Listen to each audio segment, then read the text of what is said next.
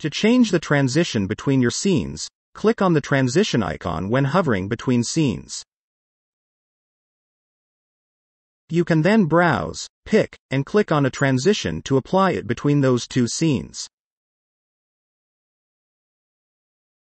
Clicking on a transition will apply it to that single scene and give you a preview on the canvas at the same time.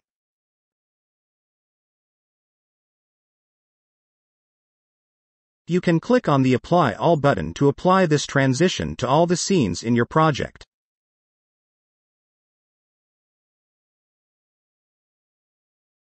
Certain transitions will have different options for you to enhance them, such as giving you the ability to change the colors for the overlay and brush transitions.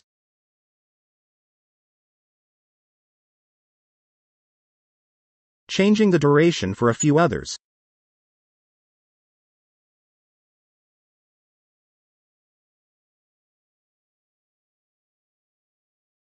And also applying an in and out animation for a few more. These options vary from transition to transition, and we encourage you to play around with them to find the best fit for your video. To remove a transition between two scenes, simply click on the transition option and select the Remove Transition option on the left panel.